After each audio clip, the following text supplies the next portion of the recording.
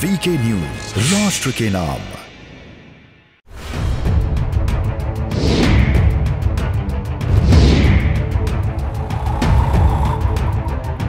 नमस्कार, मैं अमन राव, आपका स्वागत है वीके न्यूज़ से। आप कहीं भी और कभी भी कोई भी मस्जिद या मजार बीच रोड पर बना देंगे, जिसके बाद उनकी आप यहाँ पर पूरी तरीके से अल्लाह की दुआ मांगने लेंगे, फिर वहाँ पर भीड़ इकट्ठा हो जाएगी, फिर सड़कों पर नमाज़ पढ़ा जाएगा। मतलब इनकी सोच भी जिहादी वाली और इनकी सोच भी यही है कि हर जगह मुस्लिमों की आबादी बढ़ाओ और हर चौराहे, नुक्कड़ पर जहाँ मर्ज़ी करे, वहाँ पर मजार बना दो या फिर मस्जिद बना लो। लेकिन अब सरकार भी जाग गई है। सरकार एक एक करके यहाँ पर सभी मस्जिद और मज़ारों पर, जो अवैध तरीके से बनी है, जो अवैध जमीनों पे बने हैं, उन पर बुलडोजर चलाया जाएगा। गुड़गांव का तो आपको याद ही होगा, जहाँ पर खुले में ये लोग नमाज़ पढ़ रहे थे। हालाँकि बाद खट्टर सरकार भी बीच में आई और बता दिया कि अगर खुले में नमाज़ कोई करेगा तो उस पर बुलडोजर ज़रूर चलाया जाएगा। अब इसी से जुड़ी एक बड़ी खबर सामने आई, जिस पर अब मस्जिद, बड़ी मस्जिद पर यहाँ पर बुलडोजर चलने को तैयार है, जिसके बाद मुस्लिमों में हड़का मच गया है। जी हाँ पाकिस्तान के सुप्रीम कोर्ट ने कराची के तारिक रोड इलाके में स्थित मदीना मस्जिद को गिराने का आदेश बरकरार रखा है।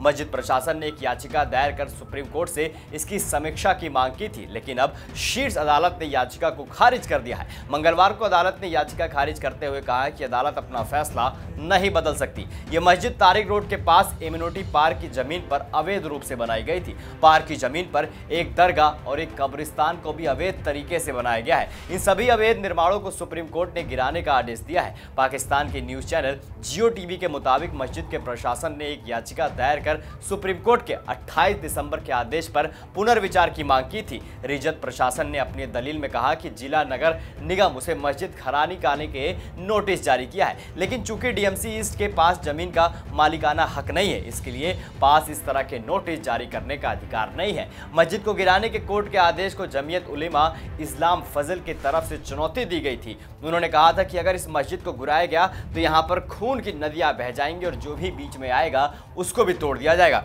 लेकिन कोर्ट तो कोर्ट है। कोर्ट ने अपना फैसला बरकरार रखा और उसने बोला है कि जल्द से जल्द जितने भी अवैध मज़ार यहाँ पर कब्रिस्तान और मस्जिद बनी है, सभी पर बुलडोज़र गरजेगा और सभी को नस्ता नबूद कर दिया जाएगा। अब आपकी क्या राय इस पूरी खबर को लेकर? हमें कमेंट सेक्शन में कमेंट करके ज़रूर बताइए। और ऐसी तमाम बड़ी खबरों को देखने के लिए देखते रहिए वीके न्यूज़, राष्ट्र के नाम।